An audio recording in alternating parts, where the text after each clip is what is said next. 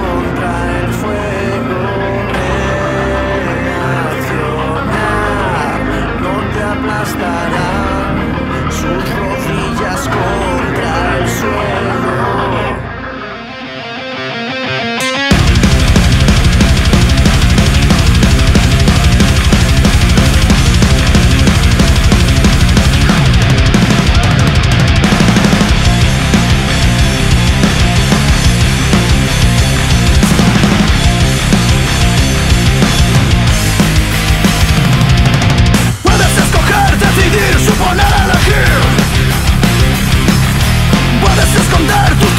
y nunca salir. Escapar del mundo. Miedo a exigir sumisión